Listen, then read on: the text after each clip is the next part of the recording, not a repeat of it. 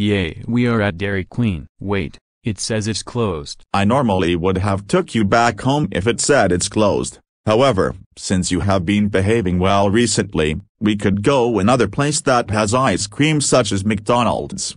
Hell no, their ice cream machines are always broken. Then we could go to Cold Stone. I heard they have some pretty good ice cream there. No, I want to go to Dairy Queen. Jammer, stop or we will just go straight back home. No, let me in Dairy Queen right now now now now now now you assholes. Jammer, if you say that one more time we're going home, you're really starting to annoy me now. You know what, fuck this, I'm going to destroy Dairy Queen. Oh no you don't, I am the manager of this restaurant.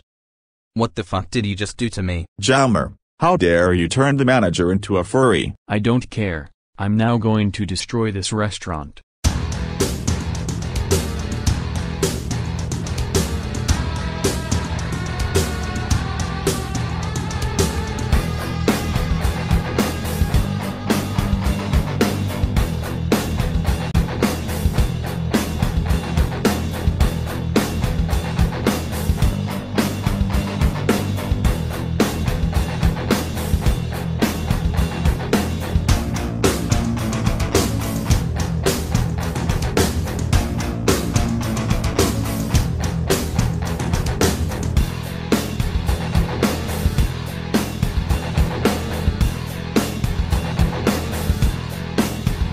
Whoa whoa whoa whoa whoa whoa whoa whoa whoa whoa whoa whoa whoa. Jammer, how dare you destroy Dairy Queen?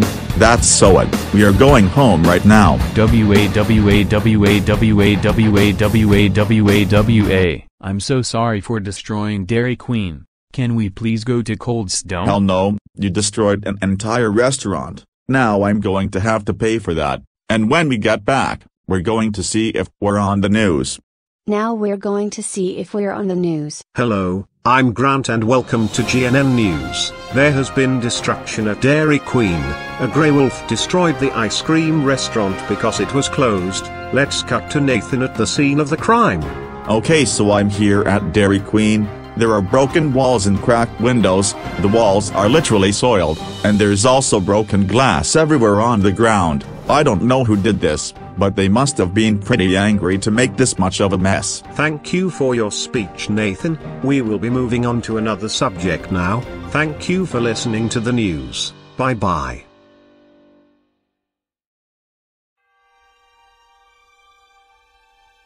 you're grounded for 13239239248293842567987 billion 987 million 543 trillion millenniums. Go to your room now.